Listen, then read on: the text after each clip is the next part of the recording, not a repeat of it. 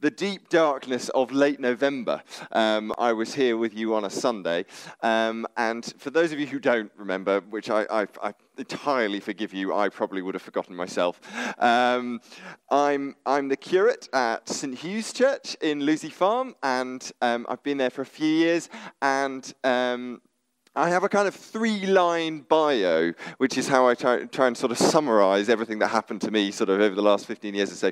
Um, I trained to be a barrister, um, then I ran a laser quest, um, and then I worked um, as, a, as a project manager in, in the City of London. And um, out of all of that, God called me um, to become part of leading in his church. And when I came last time, I wonder if anybody remembers um, what it was that I talked about, because I'm, I'm, very conscious standing here that it seems that I'm popping up um, at really significant moments for you as a gathered body of Christ, as, as the church here on the Bushmead estate. Um, the last time that I came on a Sunday, um, Glyn had just left. It was the Sunday after that. Do you remember? Do you remember the look on your faces that morning when I first arrived?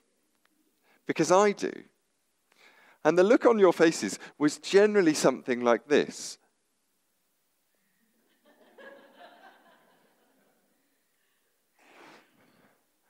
and I was pleased that by the time we'd spent the morning together, something seemed to have slightly lifted.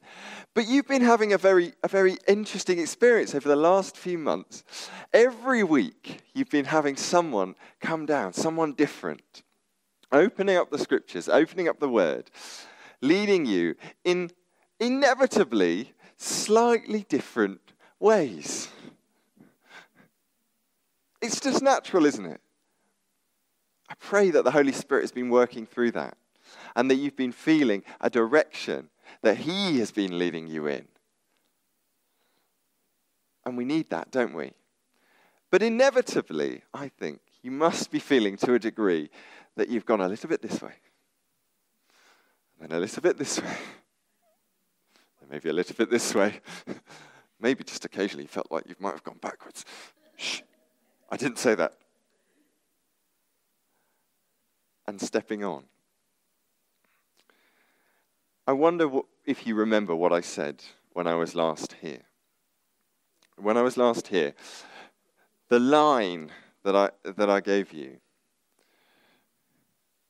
was that it's time to get in the river. And I, and I told you that story from, from the middle of Ezekiel, where, uh, where there's this vision that Ezekiel has of a river flowing from the temple of God, from the throne of God. And it flows down out of the temple. And as it comes further and further away from the temple, Ezekiel's kind of walking along the river. And as he does that, it gets deeper and deeper and wider and wider the further away from the temple it goes. And it goes down and it irrigates and refreshes and brings life to the whole of the land. I wonder whether you feel like you've been experiencing that in this season.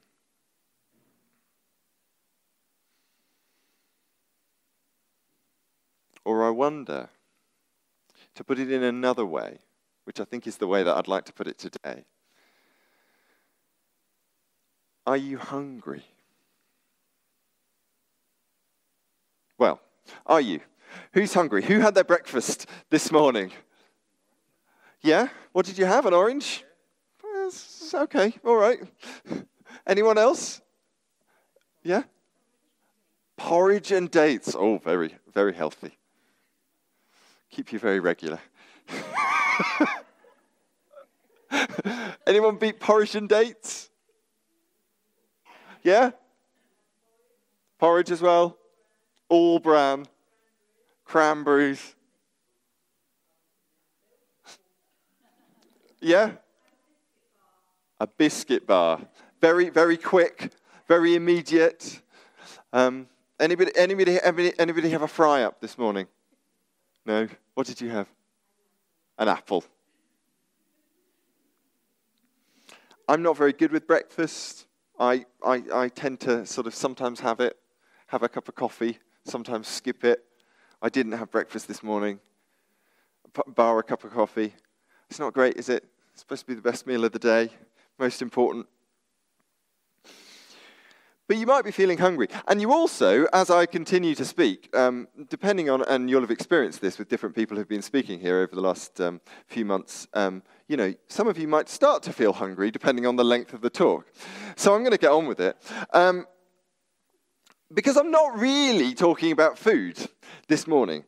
When I, when I talk about hunger, what I'm talking about is spiritual hunger. The Bible, in so many different places that it's impossible to recount all of them, uses hunger and thirst as an image, a picture. You know, I don't know, I don't know if you love bread as much as me, but that kind of hunk of bread really inspires something in my mind. It really gets me going. It, it, it might, if you're feeling hungry, kind of cause your mouth to just slightly fill with saliva. Oh, yeah, I really like that. But the Bible uses hunger as an image of our need and our desire for God. And here's, here's some other words that maybe, maybe kind of fill that, um, that, that same space um, in, our, in our mental landscape as, as, as hunger.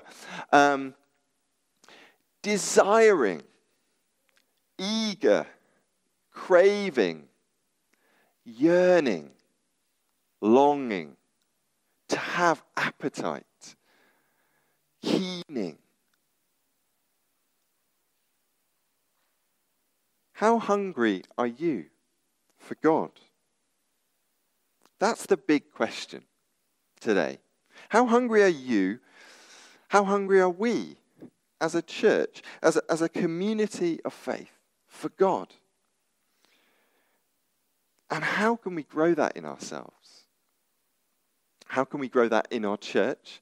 And how can we grow that in our community?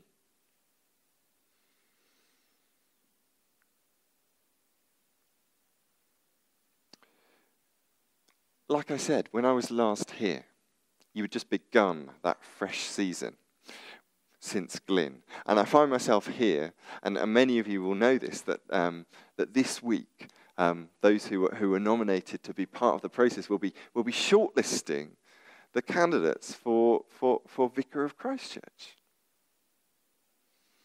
In the midst of all of that, in the midst of all of that change, all of those different directions, all of those little steps, are you remaining hungry for God? Now, I want to say a few things about hunger, spiritual hunger. Now, I don't normally do this, but I have some points. Do you like points? Yeah, yeah. I, am giving you a sort of a pre-warning about the, the pointy nature of these points. Um, because if you have a pen and a piece of paper, it might really actually help you in this context, because otherwise you might not follow them. Um, but I'm going to try and I'm going to try and do my best on this because because I really like them. They really kind of bubbled up in me when when we started thinking about this. Um, because this is actually something that, that we've been thinking about um, as a church at St. Hugh's um, over in Lewsey Farm as well. So, the first one I want to make is that um, hunger, the opposite of spiritual hunger, is not really being full. You know that feeling that you have after your Christmas dinner, and you're just like, oh, I, I couldn't eat another chipolata, you know, another bacon covered sausage. I couldn't eat another thing. That's not really the opposite of spiritual hunger. The opposite of spiritual hunger is apathy. It's not really feeling at all. It's not feeling that desire.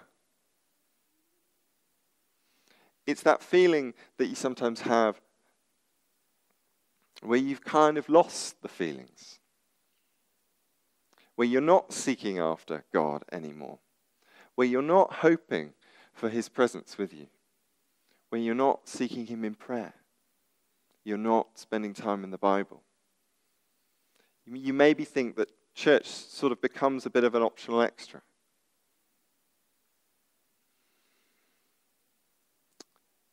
Hunger actually stops that thing. I might call that apathy something like passivity I don't know if you like that word passivity, being passive. Hunger stops that. There's a, there's a proverb that talks about that. Hunger gives energy. Proverbs 16 26 says, The appetite of laborers works for them. Their hunger drives them on. There's something about hunger that kind of gives us an energy to kind of move forward. And if we don't have that, then we might stay still. Okay, so that's my first point. The second thing I want to say is that hunger is actually a sign of health. When you get sick, one of the first things that can often happen is that you lose your appetite. Your body might get a bit confused by the illness, by focusing on fighting it off. Maybe you've got a fever, maybe you've got something else. But your body actually reaches a point where it's a bit confused and it no longer realizes what it actually needs. Because obviously, when you are sick, what you need is good food and drink, water and bread to, to, to help your body to heal. But you don't necessarily always feel that, do you? You lose your appetite.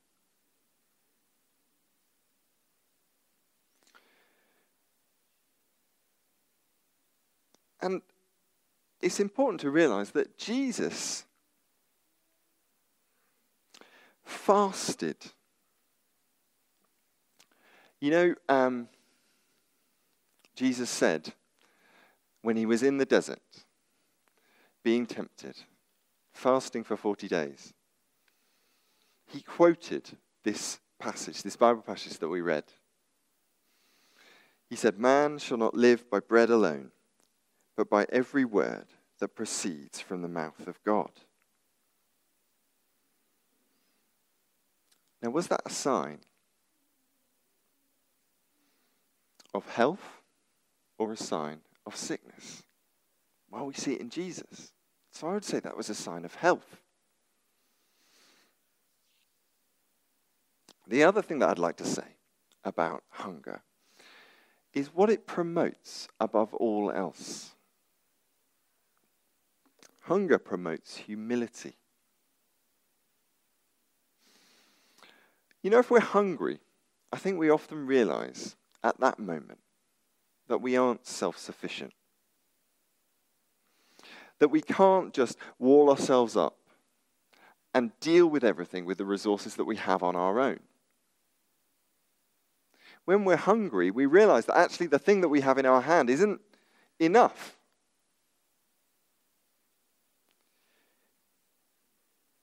We can't just get by on our own, and that we actually need to live dependent on God.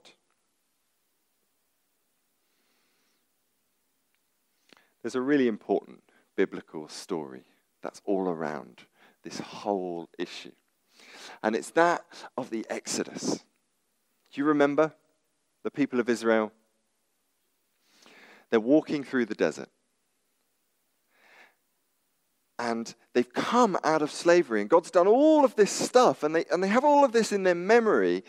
But but actually at that precise moment they're destitute and they're desperate and they're lost and they have nothing and they have no food.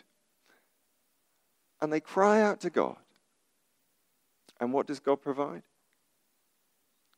Manna from heaven if you don't know the story really well, um, basically the, the, this kind of sort of crust of bread kind of forms on the desert floor during the night. And every day the people of Israel have to go out and collect it up. And they can't collect up more than they need because they can't store it because it doesn't last more than a day. They just have to keep going out day by day to meet their hunger day by day.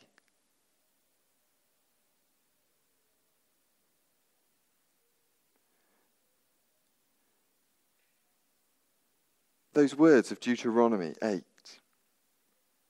Remember how the Lord your God led you all the way in the wilderness these 40 years to humble and test you in order to know what was in your heart.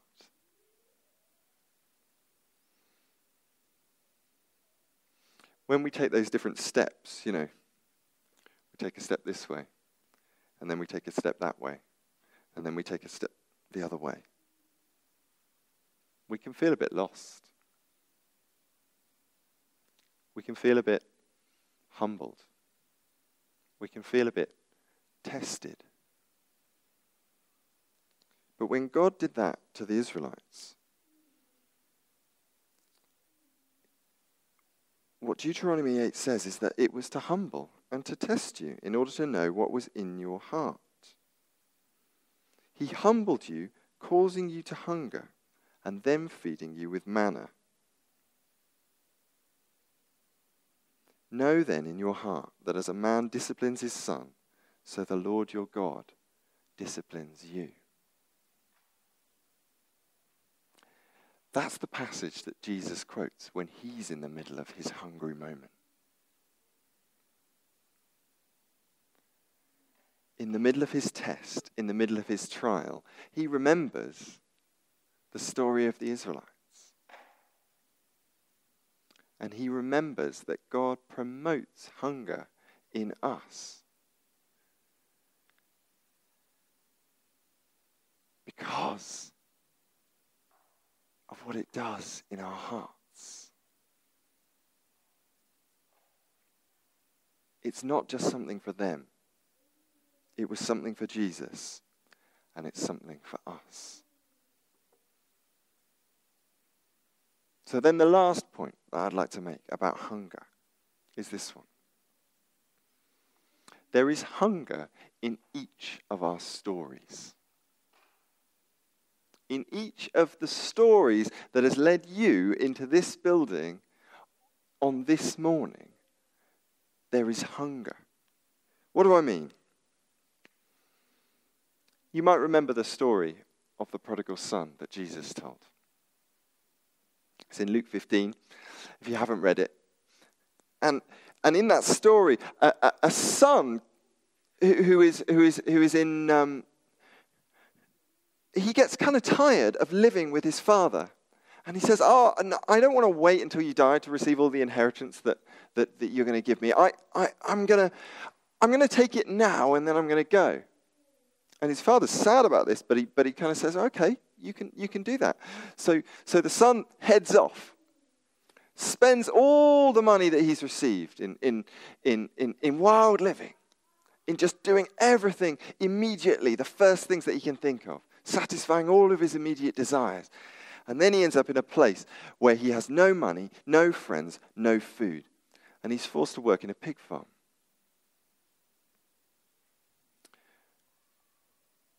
There's an amazing moment in that story where the son makes the choice to turn back to the father the moment when he turns. It's not, it's not the most significant point, I don't think, is the moment when, when he reaches the Father, when he gets back into the home, when he's welcomed back. I think the most amazing point is this when he's in that place and he turns around and starts going back. Do you know what it was that drove him to do that? Hunger.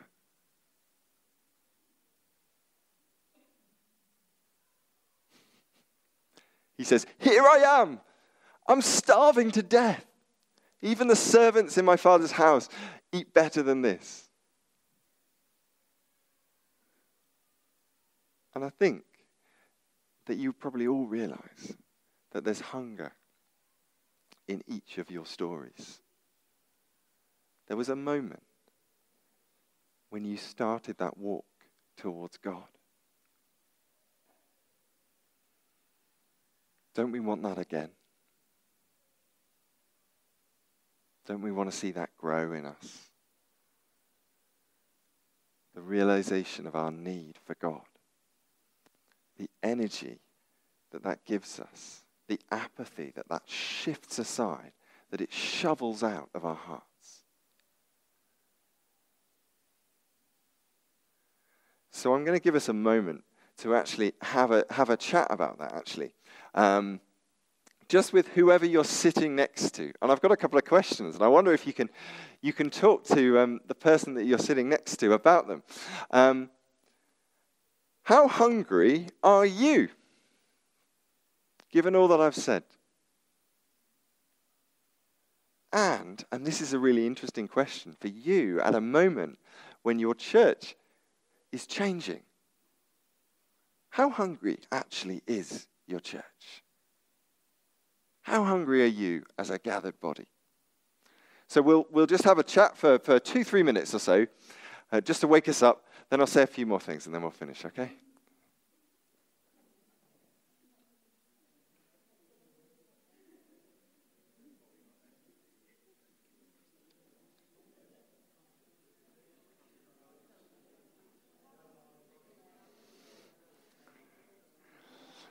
So, I wonder um, how your conversations have gone, and, and, please don't let me stop you carrying on your conversations um, later on, um, maybe over coffee.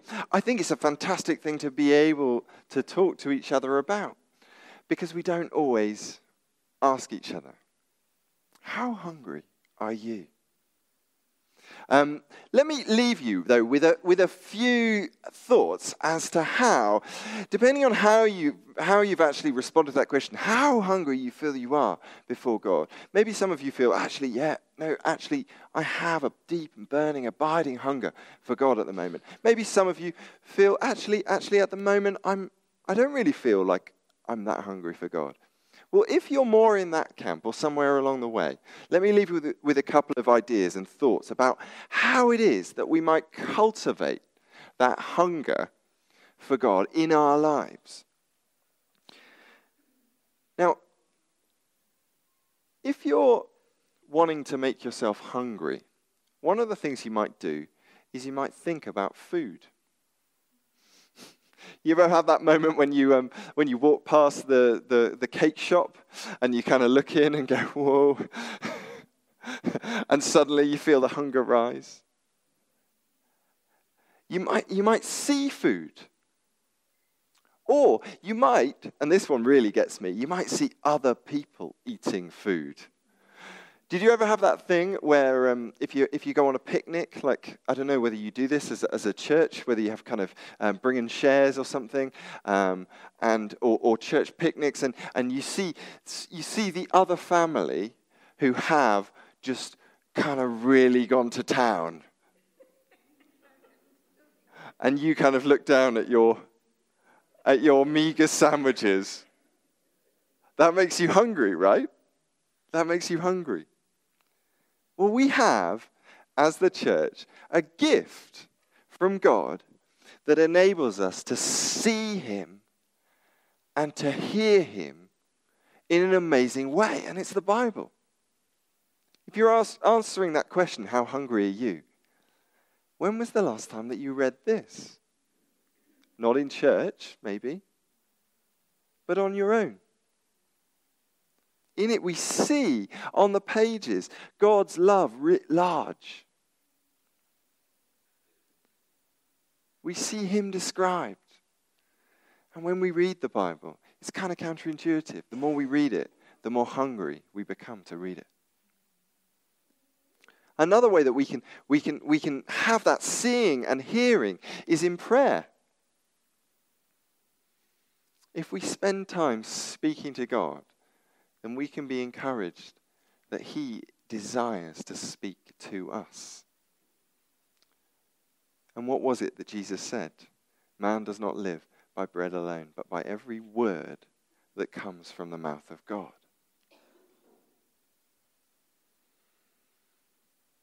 We can also practice his presence. Now, this isn't necessarily the same as him speaking. It's the realization that He is there. It's the revelation that He is with us. And that's a promise that Jesus made that He would send His Spirit so that we wouldn't be alone. But how many times do we feel alone? How many times do we actually not feel Him there? Well, spending time trying to cultivate that sense that we abide in Him, that we live in Him, that we live and breathe and have our being in Him. That's something which cultivates hunger. Because when we have a relationship like that with God, we only want more. We only want more. But we don't do this all on our own. I mentioned watching other people eat. Community is important. Church is important. We don't do this on our own. And one of the, our responsibilities as church is to encourage hunger in each other, spiritual hunger, hunger for the good things of God,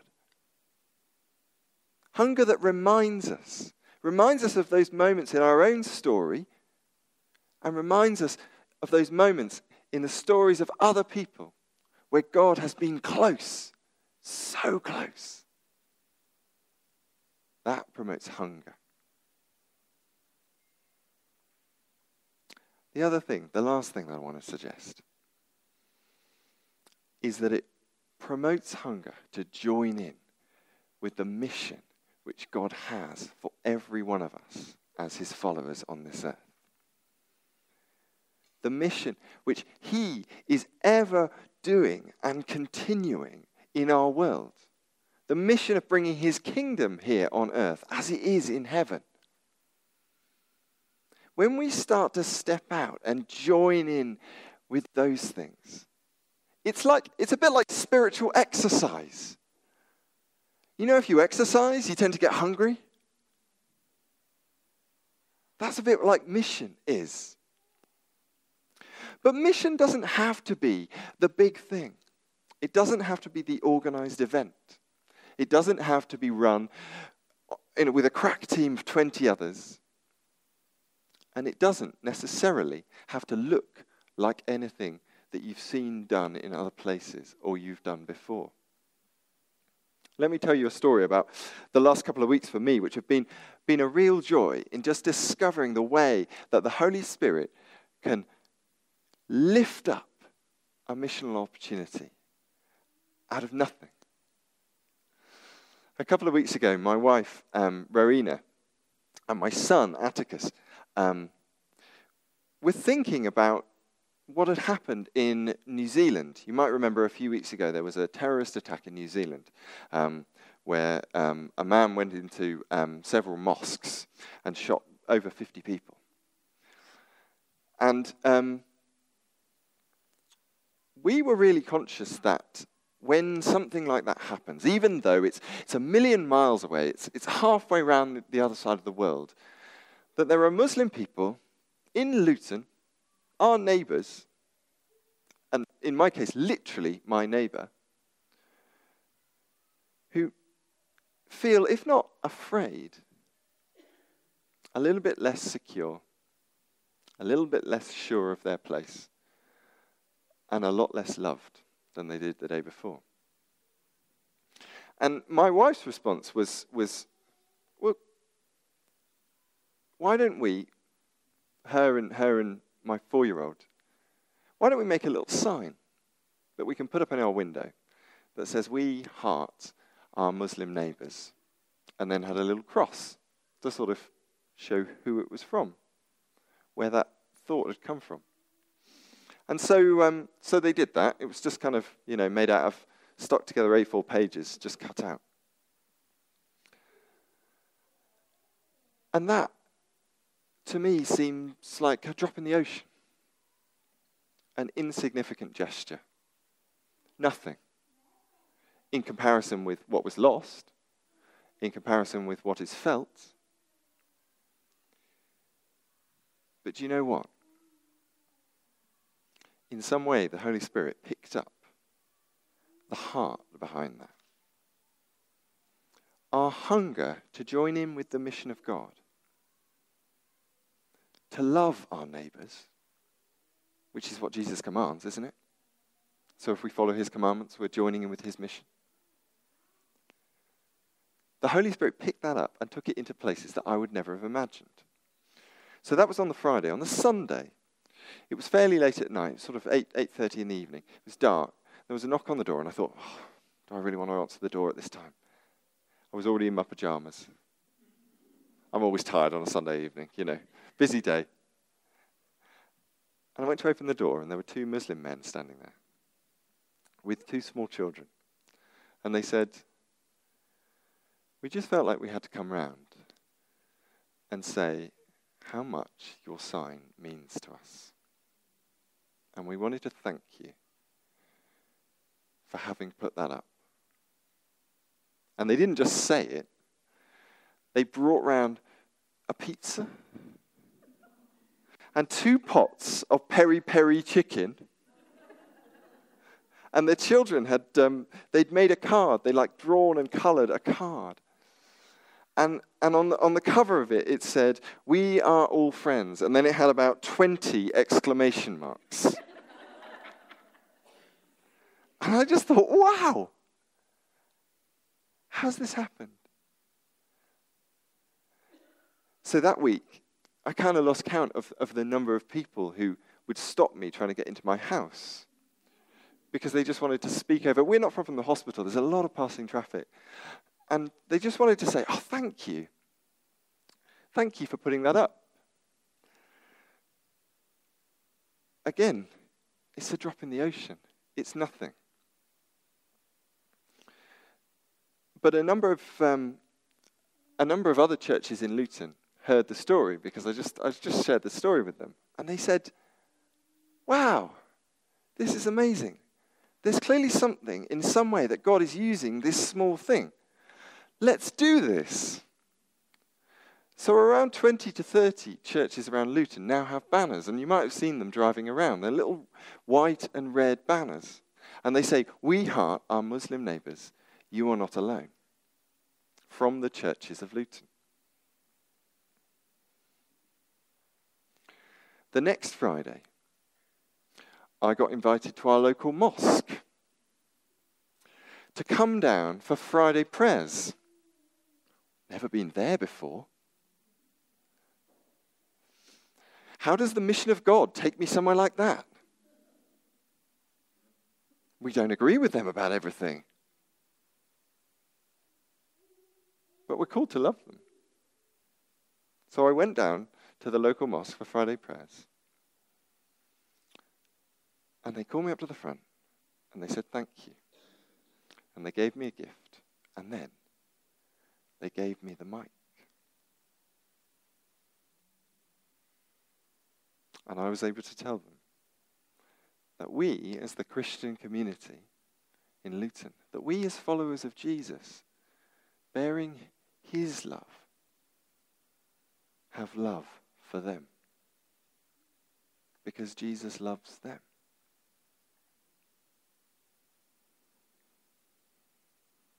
Then a week later, I got invited on Inspire, Inspire FM. Anyone ever listen to Inspire FM? Probably not. It's the Muslim radio station in Luton. God takes these little things that we offer Him in response to what's in our hearts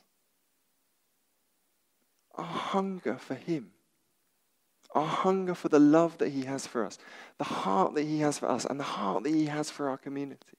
He takes these things and then He fans them into flames. That's what His fire is. You know, we say we stand in church and we say, More fire, Lord. That's what His fire is. It's fanning into flames the gift of God that's within you, the things that He's put in your heart. And He can take it further than you ever imagined that He could. To see His kingdom come on the earth.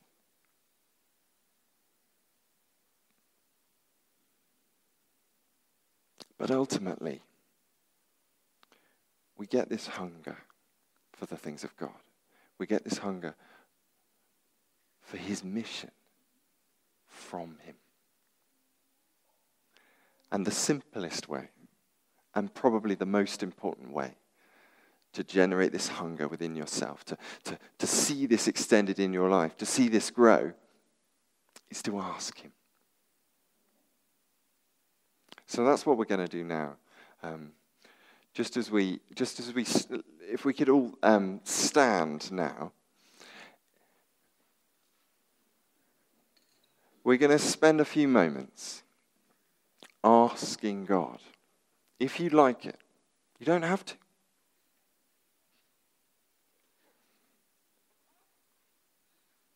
Maybe, maybe you really do think that you're already right up there. In which case, I guess we can pray that that continues. Because I don't know, in my life, I, my experience is certainly that my hunger doesn't stay at the same level. It goes through periods of ups, it goes through periods of downs. It responds to circumstances. It's affected by change. It's affected by my understanding of the vision of the Spirit at that particular time. It's affected by my relationship with the community that I'm in, the community of faith. It's affected by how much I've been spending time with God, how much I've been pressing in and hearing His word in the Bible, in prayer, in practicing His presence, in abiding in Him. So if you'd like to, then just as we all bow our heads, no one's really paying attention to what anyone else is doing, let's ask Him in our hearts to come and increase our hunger for Him.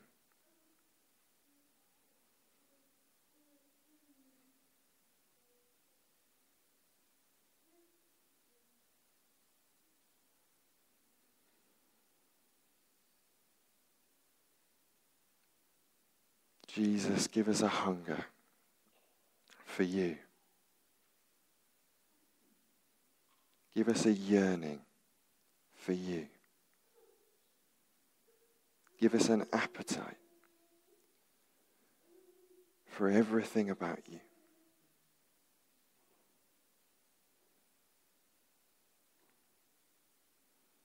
I ask that you come by your Spirit now and remove from us any apathy which we've been feeling about you or about our church or about our world. Ask that you'd replace that apathy in our hearts with your love.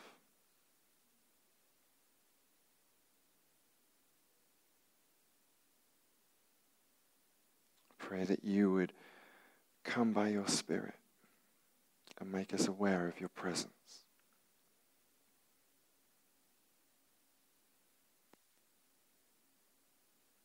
Abide in us, Lord.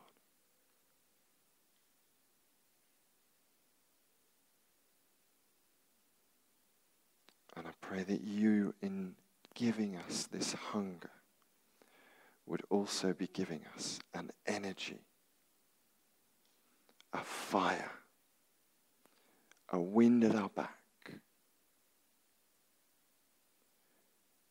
to go and to fulfill your mission to reach this world in your love. We pray all of this in Jesus' name.